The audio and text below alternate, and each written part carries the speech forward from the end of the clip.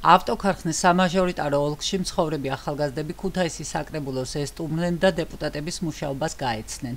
მათ მაჟორიტარი დეპუტატის მერაბ კვეცარიძის ინიციატივით საშუალება მიეცათ ერთ დღეს საკრებულოში თავმჯდომარესთან და დეპუტატებთან ერთად გაეტარებინათ და მათი მუშაობის სპეციფიკას გაცნობოდნენ. დღის ბოლოს სტუმრები მერაბ კვეცარ დღის ბოლოს სტუმრებს მერაბ კვეცარიძემ ტრენინგი ჩაუტარა, რომელიც დაწესებულებებში მენეჯმენტის მართვის მთავარ მიმართულებებს ეხებოდა.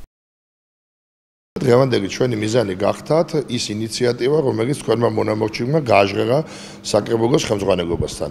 ამ პროექტს სახელად ქვია ერთი დღე საკრებულოში. ერთი დღე საკრებულოში ბავშვები მობძადნენ საკრებულოს თავმჯდომარესთან, მოადგილეებთან, პოლიტიკური თანამდებობის პირებთან, მაჟორიტარებთან, გაესწრნენ ისინი როგორ მუშაობს სტრუქტურა ზოგადად საკრებულოში.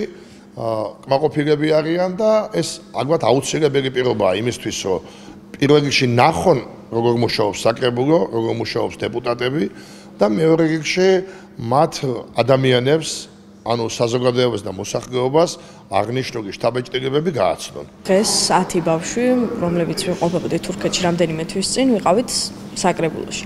მე პირადად შევხვდი საკრებულოს თავმჯდომარეს ბატონ نيكოლას და მის მოადგილეს ბატონ რამას. შეხვედრა მყველგვარ მოლოდის გადააჭარბა, ნახე მათი ყოველდღიური სამუშაო დღე, გავეცანი მათ უფლება მოვალეობებს, გავეცანი მათ ბერკეტებს და შევისწავლე, ასე ვთქვათ, და ადვილად გავიგე რა აქვთ მათ იმ დროს, როდესაც მასთან მოდის ადამიანი და თხოვს დახმარებას.